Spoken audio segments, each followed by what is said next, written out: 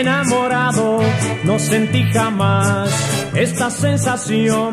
La gente en las calles parece más buena, todo es diferente gracias al amor, la felicidad, ja, ja, de sentir amor.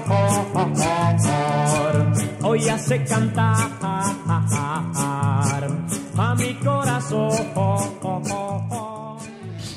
Y veo una chiquita en una propaganda de, de una crema. Y, y tenía dos, dos, trencitas rubias así. Yo, yo miraba el cartel y decía, cuando seas grande me voy a casar con vos. Y yo me enamoré de él, creo que primero que él se enamoró de mí. Al este y al oeste, llueve y lloverá, una flor y otra flor celeste del jacarandá. Muchas gracias, Evangelina Salazar, Palito Ortega, por recibir a Hablemos de otra cosa en esta tarde veraniega tan linda. En un día muy particular, ya cuando se pase el programa habrán pasado unos días, pero hoy justo que venimos es el, el aniversario 55 Pasó. Del casamiento. El casamiento, ¿no? pasó por ahí, me trajo una flor. Te, te trajo la flor este, Sí. en aquella abadía de San Benito de Palermo, Ah. ¿no? Y todo ese fenómeno que fue impresionante de los años 60. Una cosa Programa de rating, el primer este, casamiento televisado, ¿no? Sí, parece que fue ayer, pero no, estábamos hablando de eso justamente. Sí. El tema es que eh, eh, nosotros no, no arreglamos con nadie para que televisen. Eh, Porque no se usaba eso. no se usaba, Claro. claro. Fueron los primeros. Después ahí empezaron varios, Claro. Violeta Rivas, Sí. ¿no? Se empezó- Sí. Y después vino Galán con Yo me quiero casar de usted. O sea, Claro. abrieron una larga saga, ¿no? De, amor en la televisión. Y bueno, que, que nosotros, yo era muy, am- muy amigo del siempre bien recordado Antonio Carrizo. Y, y Antonio tuvo la idea de, de ir con su equipo para su programa de televisión, pero a la vez yo estaba contratado por Nicolás Mancera. Sábados circulares, eran tres. Entonces se, se- se encontraron ahí los canales y a las patadas. Se armó una. Sí, y además sí. era eh, una bataola, ¿no? ¿Cómo hicieron para atravesar todo eso, no? Porque había mucha gente, ¿no? Mucha gente. ¿Qué te acordás de Pero eso? mucha gente que fue temprano, después lo supe, se había llevado la comida. Ah, ya para tener el termo, su buena la ubicación. comida, sí, ubicación en la calle. Era una cosa impresionante. Sí, la salida fue más, más difícil porque llegar, bueno, no- nos hicieron entrar por un costado, eh, salir, tuvimos que salir por la puerta principal y ya estaba todo el mundo ahí. Me acuerdo que para llegar al auto fue difícil. Eh, todo el, el, el ajuar de ella estaba como bastante desprolijo por, por- la agarraban de todos lados. Claro, y el auto, Ah, pero el tocado, Sí, sí. sí, sí, sí, y el, y el- y el- el auto se subió a la vereda para avanzar por la vereda. Entonces, estábamos bastante perdidos nosotros, no sabíamos muy bien dónde, dónde ponernos. De todas maneras, no era otra cosa que la manifestación de mucha gente que la quería ver, ¿no? Y bueno, un poco vamos a hablar de eso en este programa, que es del amor y del amor duradero, ¿no? En una época donde no es tan común eso, este, y ustedes eh, pasa el tiempo, y yo supongo que como todos amores tiene, es como una travesía, ¿no? Sí. Que, que por, por planicies, por selvas, no sé si desiertos, por momentos, cornisas. ¿Cómo es el paso del tiempo, el amor, Evangelina? Eh, mm, bueno, es, este, es, es hermoso. Eh, porque las cosas van, empiezan de una manera, se van transformando, uno va a, Yo lo cuidé toda la vida, esa relación la cuidé toda la vida. Y, este, y Ramón también, de otra manera, pero, pero era un hombre muy respetuoso, muy, muy... Yo sabía que en cuanto nosotros nos conocimos, es decir, él dice que él tenía, cuando era changuito, ¿cómo es la cosa, Ramón? Sí, yo de, de chico en mi pueblo eh, caminaba hasta la ciudad de Lules, porque yo nací en un pueblo vecino a Lules, para tomar un tren para, para ir a trabajar. o los, los primeros tiempos iba hasta, hasta la ciudad de Lule a esperar que me lleguen los, los diarios que yo rep- repartía por las colonias. Y, y había, cruzaba una ruta donde había carteles de, de- de propaganda, ¿no? Y, y veo una chiquita en una propaganda de, de- una crema. Y, y tenía dos, dos trencitas rubias así. Yo, yo miraba el cartel y decía, cuando seas grande me voy a casar con vos. Y ella crezca, ¿Eh? y la chiquita crezca. Claro, cuando seas grande me voy a casar con vos, le decía. Y, de- y cuando la conocí a Evangelina dije, esta es la, esta es la chica del cartel. ¿Era la chica del Sí, cartel? era. ¿Qué, Qué qué publicidad era? Eh, era una de, mm, de un talco de bebé, Ajá. me parece, que la chiquita tenía como una colita de caballo, no, no te Pará, pero a- vos estabas en lunes ni idea de venir acá, y ni qué te iba a Nada. pasar, ni nada, ¿no? Nada, nada. Él pensó que si, si no iba a Buenos Aires vos ibas a ir. ¿Vos pensás que te la ibas a encontrar o era esa cosa platónica de decir... o- No, yo, yo- es curioso, pero en verdad yo predije muchas cosas de mi vida. Yo caminaba de las colonias, caminaba por las colonias vendiendo diarios. De una colonia, de una colonia a la otra, yo cantaba. Vos siempre cantaste. Siempre cantaba. ¿En tu casa se cantaba, se escuchaba música o vos Mi, mi mamá, Ajá. Que escuchaba cualquier cosa en la radio y, y enseguida, pum, la cantaba. Tenía Pero- buen oído. Pero no estuvo mucho tiempo. No, no, lo poco que yo me acuerde, eh, eh, tenía, tenía mucho oído y escuchaba una melodía y la cantaba enseguida. Bueno, yo, eh, no existía la nueva ola, no existía el rock and No. roll, decir, cantaba lo, lo que escuchaba, que eran folclore, cantaba tangos, en fin. Y, y yo recuerdo que imitaba a un locutor de radio y decía, y ahora, ¿verdad, señoras? Canta Ramón Ortega y hacía la ovación. Me pasaba haciendo eso. Y cantaba, y cuando terminaba de cantar yo mismo gritaba, O sea, jugabas, pero era como una especie de, de, yo tenía, yo tenía esa... de mirada a futuro, así muy... Después me acostaba y, recuerdo que cerraba los ojos y, no, no, no estaba, no estaba dormido todavía, pero al cerrar los ojos, al momento yo sentía que se me alargaban los brazos. En una oportunidad cantando en Córdoba, los primeros, los primeros shows que empecé a hacer, cuando recién había grabado mis primeros discos, y vino una avalancha de gente, sacaban a la gente de adelante porque estaban, la avalancha estaban apretando, y yo me tiré para atrás del escenario así y vi el sueño, Aquel sueño aquel sueño que yo tenía de, de- de chico, de las manos, que, de que, brazos. que quería, quería a ver si los podía parar. Y yo y digo, si yo soñaba que se me alargaban los brazos, ¿no? Qué cosa tan rara, tan extraña. Y a ver, Evangelia, vos no con Palito porque no te encontrabas con afiches en la calle de él todavía, No, pero no. ¿qué sueños vos tenías de chica o de, viste, como cuando sos adolescente, de que Sí. empieza uno a pensar en el amor y cómo será eso? ¿Qué, Sí. qué- ¿Cuál era tu, tu Yo ideal? era muy romántica Mm.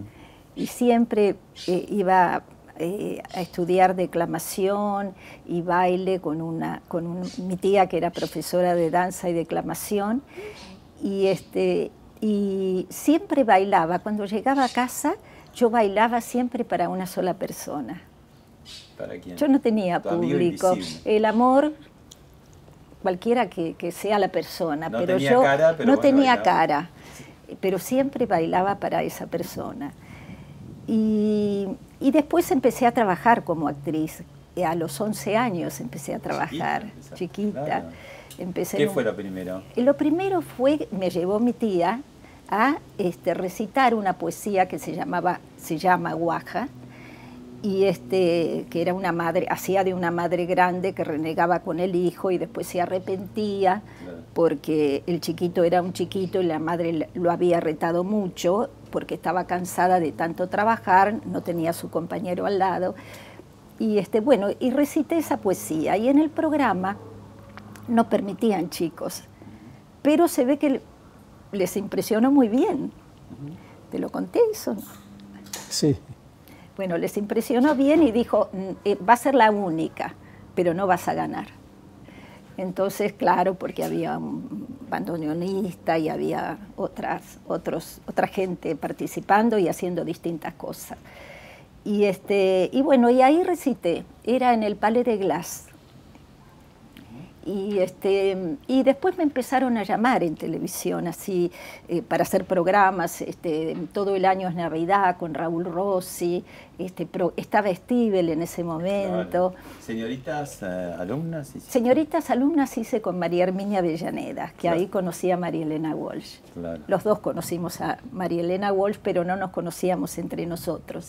Y yo pienso, por la edad que vos contás que te pasó, que vendías café, que mm. yo en ese momento tendría 13 años, iba con mi mamá al Palais de Glass a ensayar cualquiera de las cosas que se estaban, tenía la oportunidad de participar en ese momento. Y, este, y, mi mamá hasta recuerda que había un muchachito vendiendo café. Después que lo ah, conoció, ¿no? o sea, porque vos no vendías café por tu zona del centro y que bajaste, bajaste hasta claro, hasta que, Sí, sí, se quedaba ahí en el Palais de Glass. Y yo le digo a él, no nos conocíamos, pero estábamos en el mismo lugar. Estaban en zona, ya estaban en zona. Bueno, ahí tenemos para ver eh, una película donde, eh, bueno, vos haces de un personaje que va a triunfar, pero la película no termina bien. Ah, vamos a spoilear ya porque han pasado 50 años de esa película. Es mi primera novia. Vemos el fragmento final que te parte el corazón. ¿Lo vamos a ver? Desearía que comprendieras lo que estoy pensando en este momento. Ahora sé que el primer amor de los hombres jamás se realiza los muchachos no nos casamos nunca con la primera novia, pero la primera novia jamás se la olvida. Elvira, tu recuerdo me acompañará siempre. Guardaré tus cartas, tus retratos. Conservaré como las cosas más queridas el recuerdo de tus ojos y el timbre de tu voz.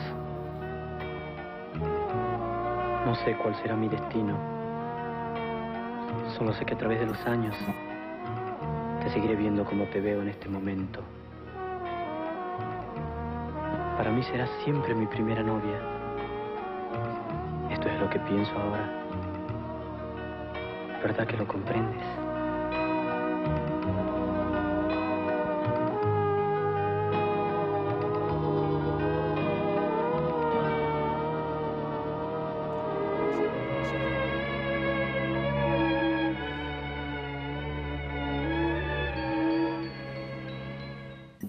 Ahí tenías un galán que era John Reed, que al final... Dean Reed, sí, Dean Reed. Dean Reed, sí. Sí, eh, y Ramón venía y me preguntaba, ahí había empezado eh, una cosa rara, buena, buena. Venía a mi camarín y me decía, no te gustan los rubios, ¿no? Porque era... a ver si todavía el guion sucede en la vida Dean real. Reed era espectacular. Entonces, era, muy buen mozo. claro, pero muy buen mozo. No sé cómo se atrevió, cómo permitiste que pusieran a un galán así. Bueno, yo voy a meter una semilla de maldad, pero él lo había elegido a Marinina Ross para que fuera protagonista de esa sí, señor. ¿Por qué? Ahora y entonces el director le dijo, no, hay una chiquita que se llama así, Asad, y, este, y trabaja en una novela de la tarde, este como era la de Nené Cascallar. El amor tiene cara El amor tiene cara de mujer. Mm. Dice que tiene cara de mi primera novia. Dice, él dijo, pero yo no la conozco. ¿Quién es? Y veía poca televisión. Porque yo ¿Y no la reconociste del afiche? ¿No dijiste cuando la viste? Eh, no, ni siquiera pidió de, verme. Ah. Para cuando llegara me preguntó quién es Evangelina Salazar. Pero te llevó una caja de bombones, un caballero, sin conocerte. Sí, Mirá qué bien. Sí, sí. Pero lo gracioso es que estaba mirando eso ahora y él, él, habla de la primera novia, jamás este, se realiza, pero nunca te olvidaré. Y él fue mi primer novio, porque yo no tuve novio hasta que lo conocí. Eh, y, se realizó, el mío se realizó. No me daba mucha bolilla de entrada, no me daba No, nada de bolillas. Después Dios la castigó, viste, dijo. ¿Ah, sí? No, ya cuando me empezó a decir eso, no te gustan los rubios, es muy buen mozo este hombre, pero ese hombre era un señor hecho y derecho que tenía su hermosa mujer al lado. Este, pero después empezó a eh, tenerme en cuenta. Después empecé a sí, jugar, empecé a empezó jugar. a jugar. Yo venía y, y le reprochaba cosas como si O estuviéramos se tratara de casados. un matrimonio. digo, Claro. O noche terminábamos de filmar, Te yo, me- yo llegaba a mi casa primero y me llamaba por teléfono y me dice, ¿cómo están los chicos? Mirá. Bueno, en, en esta temporada empezamos a pedirle a la gente eh, comentarios y algunas preguntas para los invitados. Y eh, Cristina Capalgo justamente pregunta, ¿qué nos enamoró a cada uno? O sea, cuando fue el flechazo de cada uno, ¿qué fue lo que más le llamó la atención o, o dijeron, sí, es esta persona? Claro. Este, yo, eh, esa cosa que te conté, Pablo, que yo bailaba para esa persona y no tenía cara, este, yo encontré esa cara cuando lo conocí a él. Le pusiste la cara. Le puse la cara. Y yo me enamoré de él, creo que primero que él se enamoró de mí. ¿Y vos, Ramón? No, era muy antipático. Era antipático. Sí, Bueno, y ya- No, tímido, era demasiado Ah, tímido. claro. se me- Le se- resultaba más fácil confunde eso, ¿no? decirme cosas con un chiste de por medio. Jugaba Que por ahí te caía o no te claro, caía, ¿no? Claro, sí. ¿Y, Palito? ¿Cómo la, la remaste entonces? No, en realidad, cuando la conocí, eh, yo dije, esta señorita va a ser la madre de mis hijos.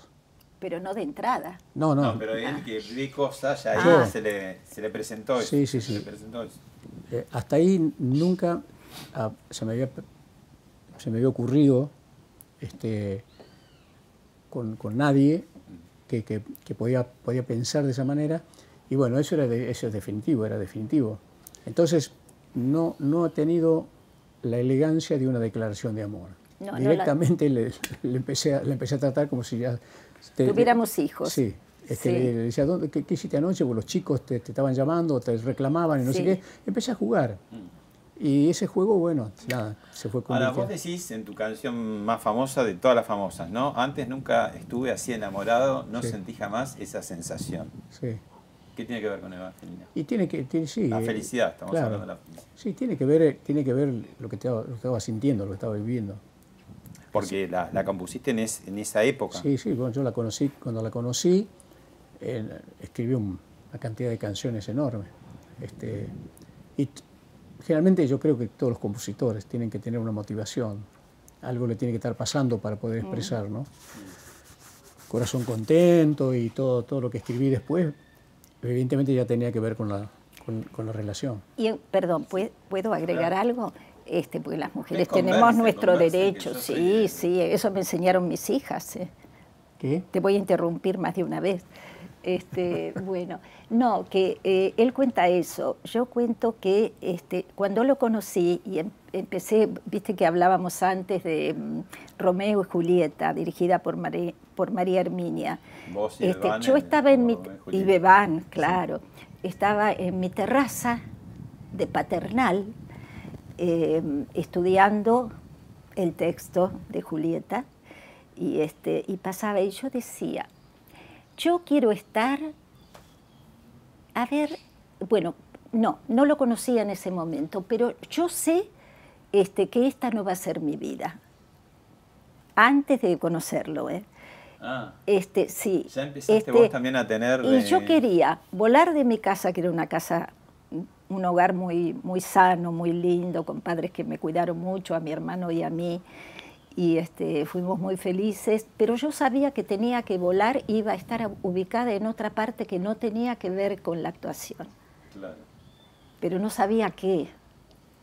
¿Y ahora qué pasa, por ejemplo, eh, otra, otra televidente, Viviana Mónica Elber Garat, dice, muchos dicen que el amor con los años se desgasta. ¿Cómo hicieron ustedes para no desgastar o para reciclar o para recrearlo? ¿O esas ondulaciones, esa travesía, cómo, cómo la llevan? Bueno, nosotros fuimos este, una pareja este, que nunca se gritó. Los chicos no tienen el recuerdo. Me acuerdo que una vez, cuando yo estaba enojada con el tema de la política de Ramón, que nos vinimos de allá, De y bueno, y estaba como medio, ¿no? Que no entendía qué papel iba a hacer, que, que había dejado a, a a, eh, tres de mis hijos, cuatro de mis hijos allá. Y me vine con, este, Con Luis, no, con- cinco de mis hijos allá, me vine con la chiquita. Claro, con Rosario y Luis. ¿no? Y, no, no, con Rosario sola, después vinieron los chicos. Y entonces yo decía, y estaba muy nerviosa. Entonces este, yo decía, no, bueno, pero la situación, estábamos en un hotel, ¿te acordás, Ramón? y, este, y, y Julieta, junto con Martín, pusieron una copa así, porque estaban escuchando que papá y mamá se estaban, altaba- alzaban la voz.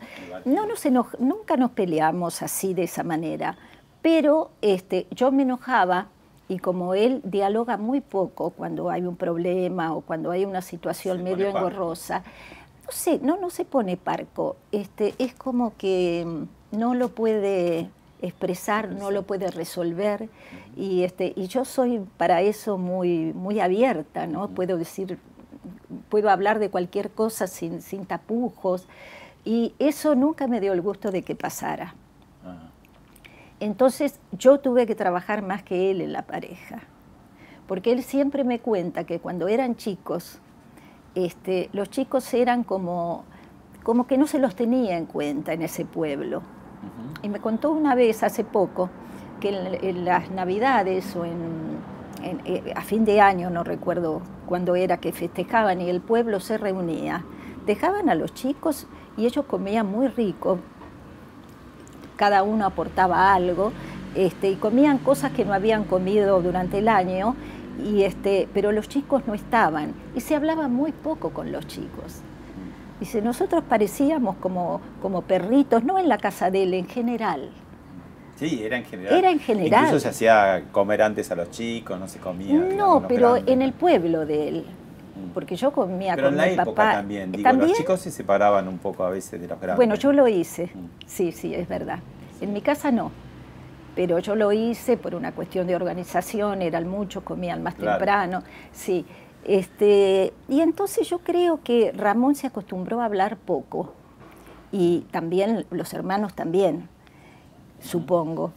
Y este, y mm, Entonces esta pregunta de Liliana Fasano casi está contestado que dice que si siempre estuvieron juntos en todos los momentos, aún en los más Sí. duros o de... Sí, no, pero yo trabajé más que él en ese sentido, porque yo tenía, estaba tan feliz con lo que tenía, porque a veces me preguntan, pero dejaste tu carrera, sí, pero yo estaba predestinada, yo no sabía que me iba a pasar, pero yo sabía que, que no, que no era lo mío y que iba a volar y algo, algo me iba a pasar y iba a estar ubicada en otro lado.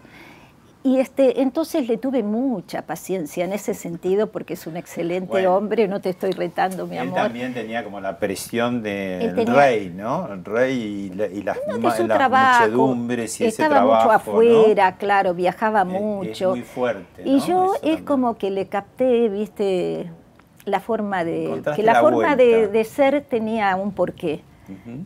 ¿no? Y este, el hecho de, de vivir un- una vida muy dura también, porque Claro. él trabaja desde qué edad, pa? Desde los 12, ocho. 13. Ah, no, yo 12. creí que eras más chico. Sí. Ah, a los 12 años ya, que yo recuerde bien, este, empezamos a trabajar. Bueno, en el interior, generalmente en los pueblos, las familias ¿no? desde muy chico empiezan a, los, chicos a trabajar con, su- con sus padres, a ayudar. Pero vos trabajabas solo, con, no, no, yo con tenía, tu papá. Yo tenía, primero, lo primero que hice, tenía un reparto de diarios, después venían las cosechas, Tucumán es muy rica en, en- en la producción citrícola especialmente, y venían las cosechas de limones, naranjas, mandarina, Después pomelo, lustrabotas también. Sí. lustrabotas de más chico todavía. Ahí empezó a Este, cantar. Siempre tenía más clientes que el resto de mis compañeros. Ah, porque venía con canciones. Venía con canciones, me buscaban, me buscaban para, para que mientras lustraba les cantaba. Ah, ¿Cantabas cosas que escuchabas o ya en No, algún no, momento? cosas- ¿Cuándo fue tu primera composición? No, esc- escuchaba cosas en la radio y las repetía. No, yo empecé a escribir ya en Buenos Aires, porque mi relación con la música es un, un caso muy, eh, casi como muy romántico, ¿no? Porque yo, de vender café en, la puerta de aquella vieja radio Belgrano de Ayacucho y Posadas, eh, venían los músicos y el trompetista ¿no? guardaba la trompeta y se iba, el saxo guardaba el saxo. y, bueno, el único, el único que se quedaba, pobrecito, armado era el baterista.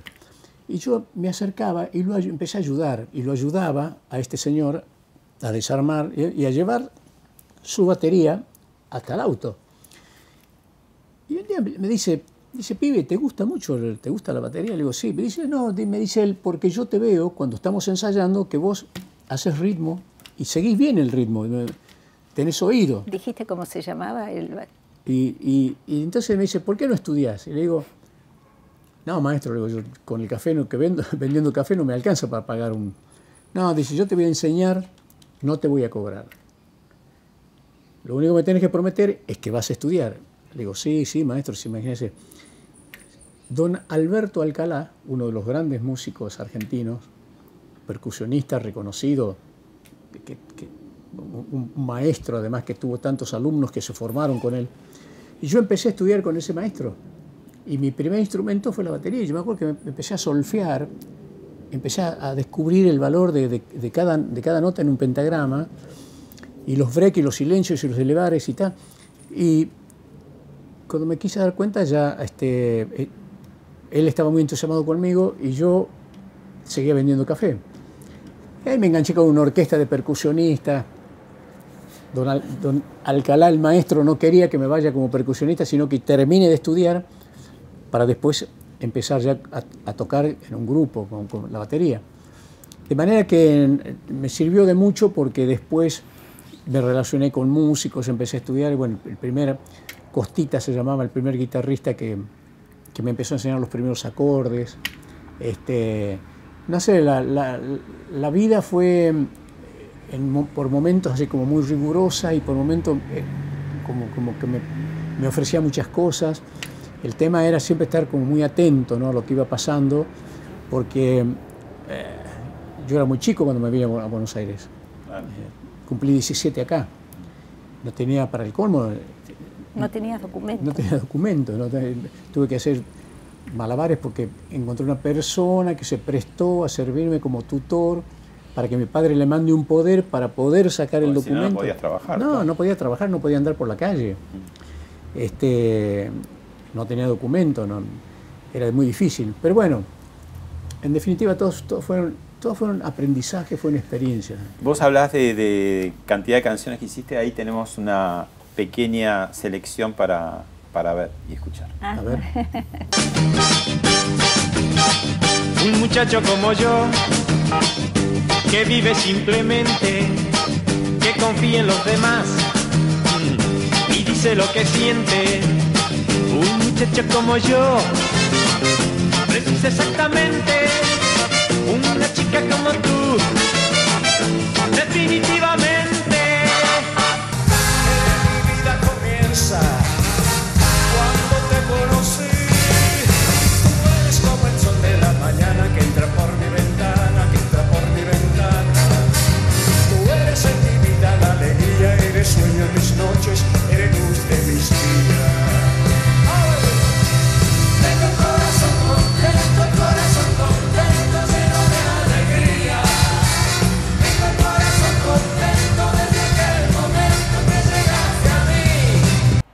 tienes una carita deliciosa y tienes una figura celestial tú tienes una sonrisa contagiosa, pero tu pelo es un desastre universal.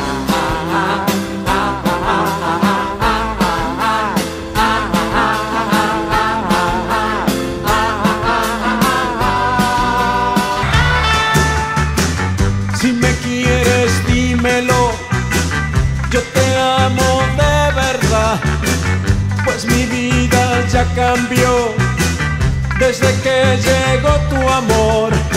Si algún día tú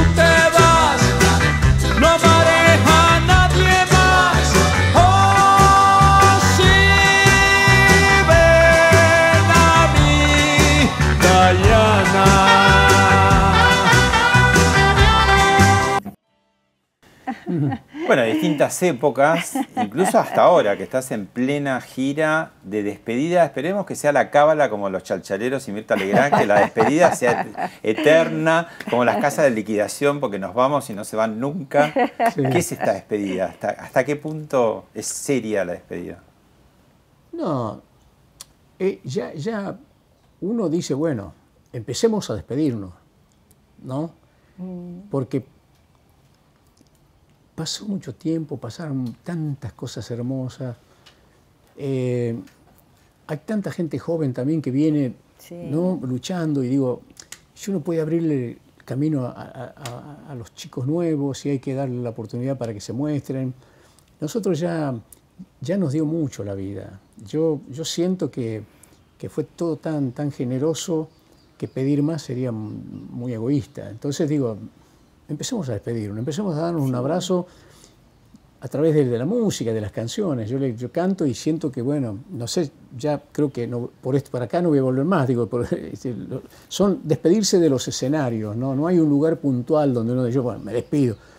Tal vez Tal vez en en 10 años volvés con otro disco y... no, no, no, no. Estoy hablando de las presentaciones personales. El disco es, es lo que uno va a hacer casi Y siempre. pero el porque- disco después pide, reclama la presencia, ¿no? Eh, no, es lo mismo que decir que uno no va a escribir, no, no va a escribir más una canción. Eh, yo me di a conocer cantando mis, mis melodías, mis canciones, y toda mi carrera se basó en eso.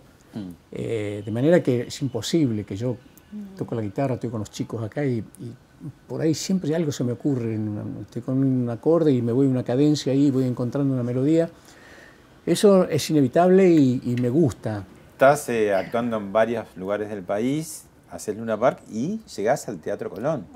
al color.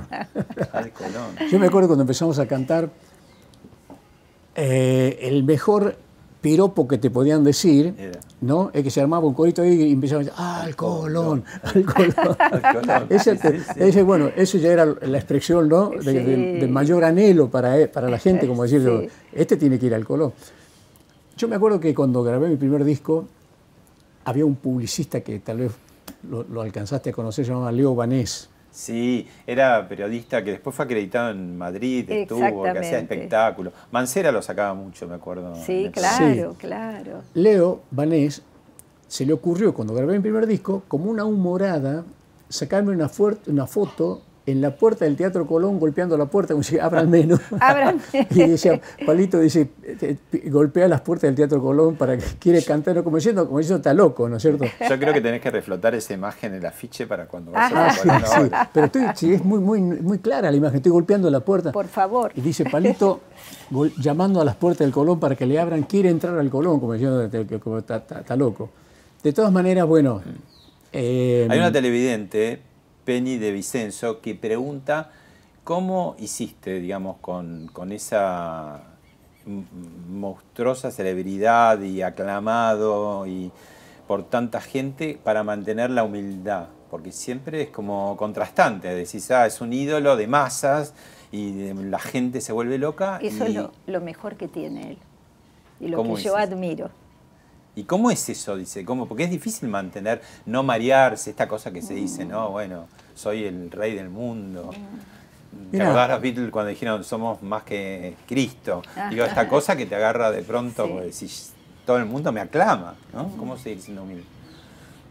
No sé, me parece que, que la vida te va enseñando que nada es tan importante, ni nadie, nada es tan superior. Eh, estamos, nosotros, los que hacemos música, estamos en un medio donde nos cruzamos todo el tiempo y cada cual hace lo que puede hacer. ¿Lo y lo- como un laburo? bueno, en, en cierta medida Es, es una obviamente. profesión que uno ejerce y, y- y este, y, el músico, sí, trabaja, trabaja como es un trabajo.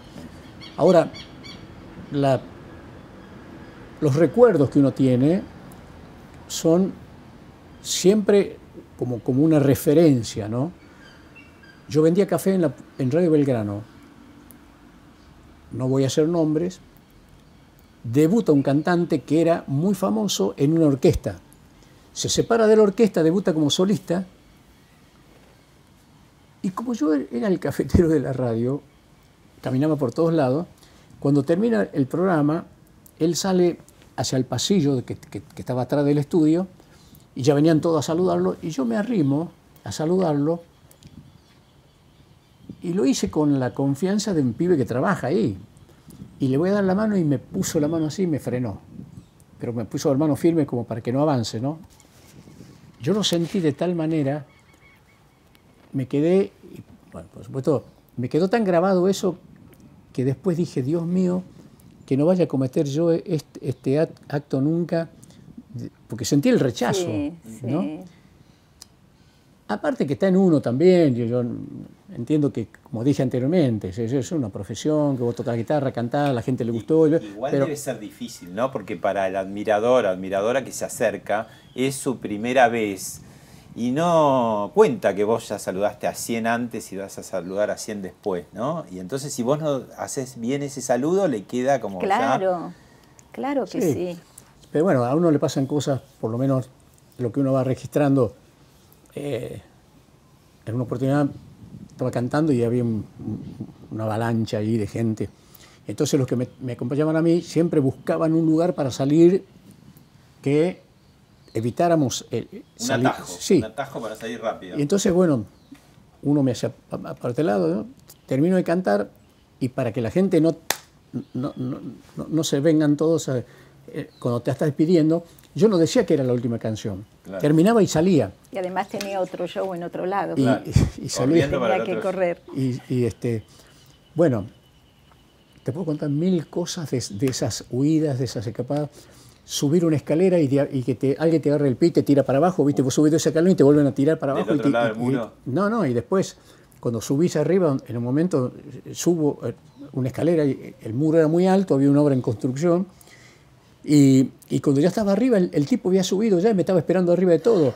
Y me decía, palito, palito. te- te- y, la, y la pared hizo así, porque era fresca la pared. Ah. Uy, se fue todo y caímos en un pozo de cal. Con el admirador, bueno, Sí. ideal para el admirador. Un ¿no? pozo de cal. Y yo sentía que la cal me chupaba así y el tipo me decía, palito, soy tu amigo, no sé de dónde. Y yo, yo decía, no, no me acordaba de nada. Y yo me apoyaba en, Amigo en de él, en todo, sí. Yo sentía, viste, que la cal te chupaba. Bueno, de eso yo te puedo contar las, la- las anécdotas de, de- de- de las entradas y la salida de los clubes. Porque trabajo es componer, el trabajo es cantar y actuar, pero el ídolo tiene un trabajo suplementario Sí, que es sí. atender a todos Sí. sus admiradores, O ¿no? sea que, que nosotros- son muy absorbentes. Además, Sí, el admirador, sí. admiradora, lo quiere todo su ídolo, ¿no? Con, con Sandro teníamos oficina en el, el mismo edificio y nos encontramos porque teníamos el cochera uno frente al otro. Entonces nos encontramos prácticamente varios días en la semana. Y siempre decíamos, vamos a tomar, vamos a tomar café o vamos a tomar algo a la oficina de uno o del otro. Y nos contábamos las cosas que, que, Que a uno le, le parecía claro. Este, y por momento uno se lo cuenta como una anécdota que, que- que es risueña, pero por momentos se ponía muy difícil. Claro. Porque los arañazos, ¿entendés? Tirones de pelo. Y cuando, sí, el pelo, la ropa, y un cuando, botón de la camisa, me llevé un botón de palito. claro, y cuando agarran, o sea que es muy... ¿Llegaba la ropa un poco desgarrada a veces o qué? Eh, eh, lo que está contando Ramón del muro, yo no te conocía a vos, pero sí conozco la anécdota. No, no, después no. Después no. Después. Desgarrada no. No, no, era, eran... Los eh, tiro- por los tirones. lo- Es que ya estaba casado el hombre. Y entonces la gente Eh, respetaba. Eso. Bueno, así como yo le marcaba la humildad, ahora te pregunto a vos. El tema de ser tan adorado, ¿no? Y bueno, las películas con la- la- la- los coros, las chicas, todas divinas y todo. ¿Te daba celos? No. ¿No? ¿Nada? De No, verdad, no. A ver, no. una cosa es que vos tengas eh, seguridad y que vos sí, confíes, pero y cuando otra cosa tenés- es los celos que son, viste... Sí, no, pero no de. No. No. Vos me, me, me sí, recordás no, no, celosa. No, porque además nosotros volvimos de luna de miel y nos, nos instalamos en, en- en el departamento que vamos a vivir y yo llegué para dejar las cosas y, y salí corriendo de Seiza de vuelta para tomar el avión para ir a filmar Amor en el aire con Rocío Dúrcal en España. Y ella se quedaba a poner, terminar de poner la casa. Después vino. Eh, pero la vida nuestra, eh, si el argumento te dice que te encontrás y te abrazás, pues, bueno, vino de España una actriz Sonia Bruno, con Soledad Silveira, con no sé, hemos filmado películas donde siempre, siempre está la historia de amor. Entonces, eh, lo que pasa es que uno ya, cuando uno ya está en- en- adentro del tema, de, de- de- de la historia, y es, es un trabajo, es un trabajo y lo, lo- tenés que hacer de la mejor pero- manera, pero nada, no... Yo ya con- no- a lo mejor era tonta, pero yo confié siempre en él. Nunca se me pasó por la cabeza que podría haber sido, porque vos te ibas hasta dos meses a veces. Bueno, las giras, las giras por Latinoamérica especialmente eran, eran agotadoras. Pero no, yo siempre tu- tuve ganas de, de- de- de volver a mi casa sí, eso, Eh, eso yo lo sentía. y sabía, y sabía que me iban a estar esperando. Después cuando llegan los chicos, imagínate, ¿no? ya, con seis hijos. Una vez no se pudo ir, ¿te acordás que estabas en México como atrapado? Ah, sí. Y me decía, vení con los chicos, vení con los chicos. Yo le decía, no, Ramón, eso se va a solucionar, porque ¿qué, qué era lo que te había pasado? Nada, en, en- en México apareció un autor, eh, dice, bueno, esa canción tiene, eh, esa parte es mía. Y yo decía, sí, yo no la firmé a la canción. Dice, pero usted la grabó. Sí, pero yo no, no- no la firmé. Y en, México, en ese entonces era muy difícil el tema de ponerse a discutir con una persona, con, con una persona ahí en México. Eh, se, le, se le- se le cruzó por la cabeza eso y entonces te demandan. Y ya la demanda significa que Que no tenés que quedarte a contestar. Entonces, bueno, después, por supuesto, digo, no, era una pavada. Pero mientras tanto me tuve que quedar un, un par de días ahí. Este, siempre puede pasar, pueden, pueden pasar esas cosas. Los artistas están expuestos a muchas cosas.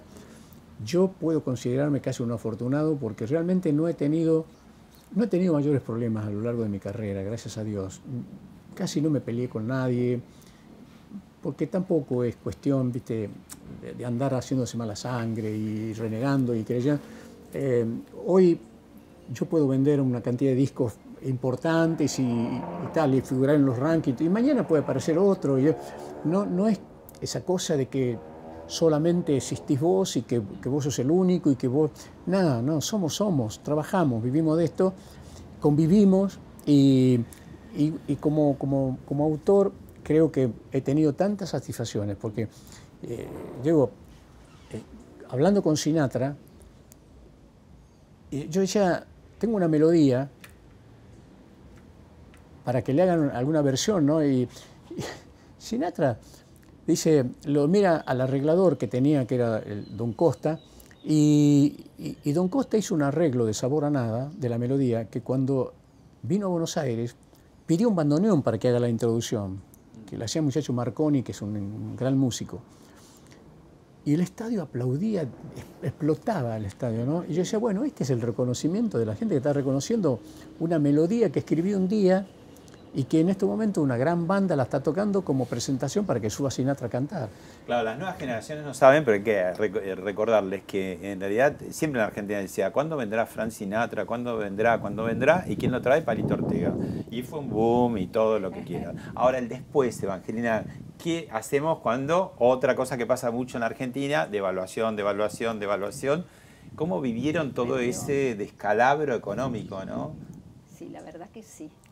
Con mucha inquietud, él con un temple increíble porque nunca manifestó ninguna preocupación. No, Ahí no volviste al traía. chiquito de Lules, ¿no? Que tenía ese cuero grueso de decir, puedo mucho. laburar de lo que sea. Sí, Sí, y lo yo- hizo, lo hizo. Cantaba, cantaba, ya cantaba muy poco, eh, salía poco en gira. Nada, descolgué la guitarra y le dije, muchacho, vamos. y Nos vamos de gira. Sí, yo, yo siempre estuve muy agradecido a la provincia de Córdoba, que fue la primera provincia que, toqué- que visité, y yo no sabía que Córdoba tenía tantas ciudades a lo largo y ancho de- del- del territorio cordobés. He, he- este, he cantado tanto y, y la verdad que no hacía más que pagar deuda, pagar deuda, pagar deuda. Cuando terminé de pagar todo, llegué un día y le digo a Evangelina, vámonos, necesito cambiar de aire. Este, a Miami. Sí. y nos fuimos porque Sinatra se había comprometido. Cuando se fue, el último saludo antes de, de- de Supo irse. todo lo que te costó. Sí, sí, digamos. sí. En el último abrazo me dijo, sé todo lo que te pasó. Lo único que no quiero que te olvides es que cualquier garantía que necesite en Estados Unidos, no dejes de llamarme. Y yo lo, después me acordé, dije, ¿se acordará cuando lo llame? La verdad que después me Se abrieron, cortó, ¿no? me abrieron las puertas en Estados Unidos, me abrieron las puertas. Tenía crédito en bancos que yo no tenía ni cuenta. Me dice, ¿por qué no abre una cuenta? Porque le venimos a ofrecer una línea de crédito. para. Bueno, me construyeron una casa, me dijeron, no, la verdad que se Pará, portaron. después de que reconstruye todo, estás en el primer mundo, Miami, abriste tu empresa, le va bárbaro, los chicos empiezan a crecer. Vos dirías, bueno, mundo soñado, estamos bárbaros. Al señor se le ocurre Eso fue duro. la para política. Mí. Sí, para ¿Por mí fue qué duro. de golpe se abre ese capítulo? Es muy... Ser muy- candidato a gobernador en Tucumán Sí. contra nada más y nada menos que el general represor, ¿no? Claro. Este, Mm. Domingo Bussi. Claro. Mira, es muy sencillo. Eh, no había posibilidad de que le ganen. Cuando No. yo tomo conocimiento, porque yo fui a Tucumán, ya estaba viviendo en Estados Unidos, y voy a, venía para ir a Tucumán a ver cómo iba la, constru- la construcción de una escuela que estábamos nosotros reconstruyéndola toda en mi pueblo que yo había prometido que con lo que iba a ganar con Sinatra lo iba a hacer, pero no gané nada, igual, igual dije no, voy a empezar la obra igual. Y empecé a hacer algunos festivales para recaudar fondos para, para esa obra. Ya viviendo allá me venía a controlar esa obra. En un momento vengo, me entero en Tucumán, no, acá gana Bussi, gana Bussi, gana Bussi. Después me entero del proyecto nacional del partido militar. Ganando Bussi en Tucumán, ya no había más golpe, no existía más la, la imagen del golpe. de la- los 90 eh, presidencias de Menem. Y, y- y ahí se, se consolidaba la idea de un partido militar a nivel nacional. Ese era el proyecto, ganando Bussi en Tucumán. La gente no sabía, en realidad. Cuando yo me entero de eso, digo, bueno, si nadie le puede ganar, y el único, cuando empiezan a encuestar, era yo, me parecía que era como muy, muy fácil quedarme sin hacer nada en- Estados Unidos. Y yo vine y nadie sabía por qué, solo yo sabía qué que- que estaba, que estaba enfrentando y por qué. Y, y yo creo que el error que comete Bussi en, en esa campaña es que él me minimiza, me minimiza, me Y eras un minimiza. cantorcito. Sí, no eras sí. un cantorcito, Sí. aparte, digo. Sí, sí. Y, y resulta que lo que no, no evaluó él correctamente es que eh, eh, yo era de la provincia, nací en la provincia, tenía una historia con la provincia, y yo sí podía decir este, con autoridad cómo somos, qué nos hace falta, qué tenemos que hacer. Ahora, Así. todo, el- todo el paquete, ¿no? Gobernador, senador, eh, fuiste ministro de Acción Social, creo, Sí. después que candidato a vicepresidente con Dualde. Eh, cuando lo analizás todo, desde acá, digamos, ¿qué, qué, qué pensás? Eh, ¿Lo harías de vuelta? ¿Le dejó muy mal sabor la política? Tuvieron también que eh, afrontar denuncias y cosas, ¿no? ¿Qué, qué pasó con? Nada, nada, Pablo, mira, la, la vida no es. No es de los técnicos que proyectan y hablan, y que es la vida es de los protagonistas, el que se mete a hacer. Porque para mí es más fácil ir a hacer una declaración y borrarme. Yo dije no, y fui a pelear y, gané. Y, y- y de verdad juro que no me arrepiento de nada, porque aún en los errores se aprende, aún en los errores se aprende. Yo creo que en ese momento lo tenía que hacer, lo hice y yo frené un proyecto ahí en Tucumán que nadie, nadie sabe a dónde, a dónde apuntaba, no saben qué iba a terminar. Yo lo freno ahí, lo freno en, en Tucumán. Venía los cuatro años de gobierno, el otro día leía con, con cierta satisfacción, por supuesto, leía el, el del diario más importante de Tucumán, La Gaceta, un periodista importante hacía un análisis de lo que había pasado en los últimos años con la política y decía, el único gobernador que tuvo la provincia, que entró y que se fue sin una sola denuncia ni so- de, de sospecha de, de- de nada, fue el gobernador Ramón Ortega. Y yo cuando lo leí dije, sí, fue así, de verdad. Pero bueno, después, hablar pueden hablar, pueden decir, yo me quedé en la provincia, dije, me voy a quedar, eh, Evangelina dice, vamos, no, no, yo me voy a quedar Sí, para ver si me llaman para preguntarme dónde está la lapicera con la que yo firmaba un decreto. Dónde- me quedé esperando. Después de seis meses de esperar, jamás, jamás tuve la menor, gracias a Dios, la- el menor problema, la menor sospecha de nada. Porque y ganas no le faltarían a Bussi no, en ese no, momento. pero además, además, el tema es así. Yo, sé- yo, yo puse la cara para ganar, pero saber cómo se administra una provincia, tenés que, tenés que tener la humildad de llamar a los Mm. que saben. Y yo me rodeé de los mejores profesionales de la provincia. Sí. El mejor economista fue el ministro de Economía. El mejor profesional de la salud fue el ministro de Salud. Digo, este, y yo en definitiva escuchaba y, y- y- y me traían las soluciones, lo, lo que sabían, los técnicos, lo que estudiaban y lo que se prepararon además para eso. Era un equipo fantástico. Y, y la verdad me, me fue, me fue bárbaro, porque yo no, tomaba, yo no tomaba por mis conocimientos las decisiones, tomaba por el conocimiento de los profesionales y después las analizaba y por supuesto me daba cuenta que era lo correcto, lo que había que hacer. De manera que bajamos la mortalidad infantil, los índices eran ele- elevadísimos, va- nos agarró toda una época difícil porque vea todo ese tiempo de- del cólera y no sé cuánto, bueno, y, y sin embargo yo vuelvo hoy a Tucumán y nadie te puede decir nada, es decir, yo si- sigo sintiendo los brazos abiertos de la gente. Y sí, bueno, si, si en ese momento para, al- para alguien vaya a saber tan, tantas cosas que pueden, al- alguien puede hablar y decir, lo cierto es que lo que estuvieron en el escenario de los hechos te reciben con los brazos siempre abiertos y saben realmente cuál fue tu conducta, qué hiciste en la vida. Yo sigo cantando, Pablo. Sigo cantando porque me gusta y además porque tengo, que, tengo, tengo un- una estructura que tengo un estudio de grabaciones, tengo, tengo, que, tengo que grabar, tengo, me gusta estar en el escenario. Y, y no tengo, pero por Dios, no tengo, no tengo dólares afuera, no tengo cuenta en libras esterlinas, no, tengo nada, vivimos, vivimos del trabajo todavía. Evangelina, Palito, vamos a ir a una pausa y después, abusando un poco de la generosidad de que nos recibieron, le voy a pedir que le cantes algo a Evangelina, estos 55 años de que se están festejando y también 60 de que te llamaron Palito, ¿no? Que, te- que empezaste a hacer. Palito Ortega. Claro. Así que año de, de aniversario. Vamos a una pausa y ya volvemos.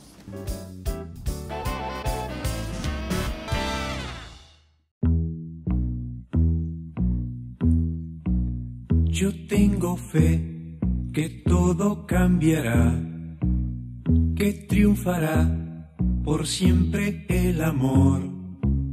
Yo tengo fe que siempre brillará, la luz de la esperanza no se apagará jamás.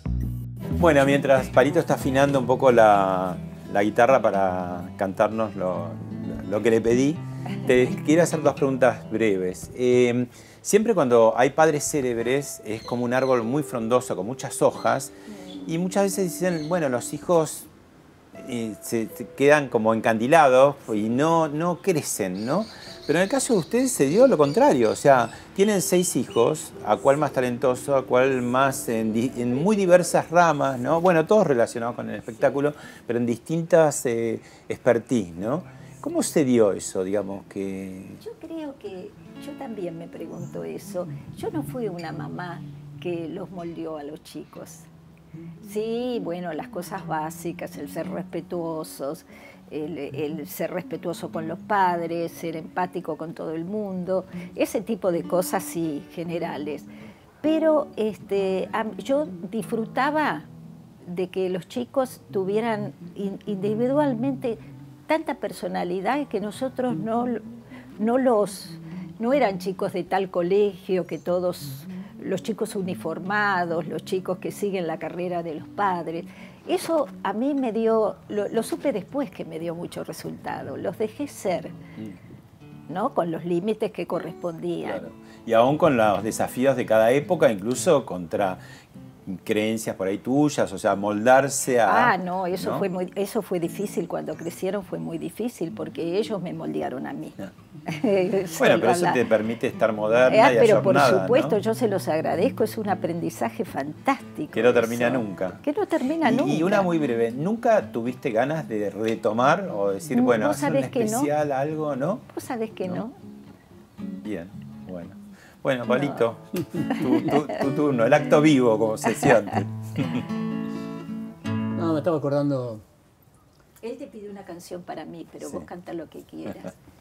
Todas las canciones son para mucho. vos. No, todas. no, no. Claro, todo. No. Todo, cualquier cosa No, que es que a mí me gustan cosas que él no ha mostrado. todo. Ah, Pero este, No, me estaba acordando de Marilena Wolf.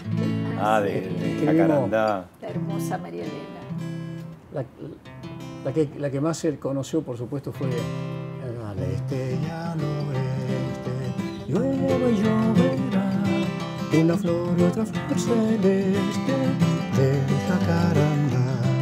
Se ríen las ardillas, ja, ja, ja, porque el viento le hace cosquillas al jacaranda.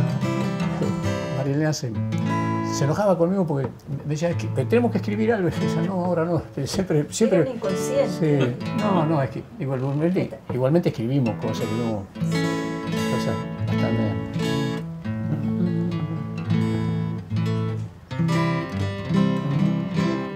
¿Cuál me decías vos de Marilena? No que tomes por el atajo,